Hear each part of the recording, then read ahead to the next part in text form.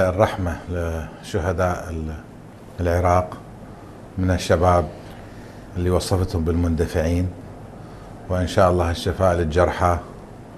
وندعو الله أن لا تتكرر هذه الفاجعة مرة أخرى. بما يخص خطاب السيد الصدر أعتقد الرسالة الأكبر اللي, اللي وصلت اليوم إلى كل العراقيين أنه هذا الرجل لديه جمهور بغض النظر عن تقييمنا الشخصي لهذا الجمهور ولكنه جمهور مطيع جدا وجمهور منظم جدا. قليل توجد مرت على العراق قيادات جماهيرية قليل جدا في تاريخ العراق الحديث.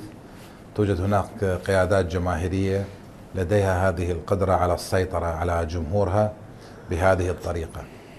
أعتقد بغض النظر عن لماذا الخطاب وتقييمنا السياسي له ولكن من الناحية القيادية من ناحية الزعامة من ناحية السيطرة على الجماهير اللي هي تابعة إلى.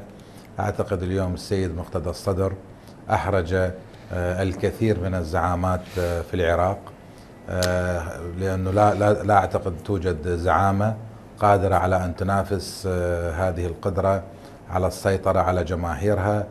بحيث في أقل من 30 دقيقة كان قادر على أن يطفئ بداية حرب داخلية أهلية شرسة جدا.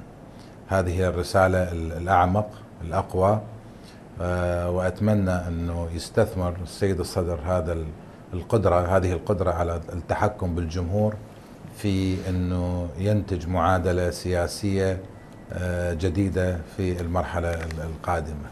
أتمنى ذلك.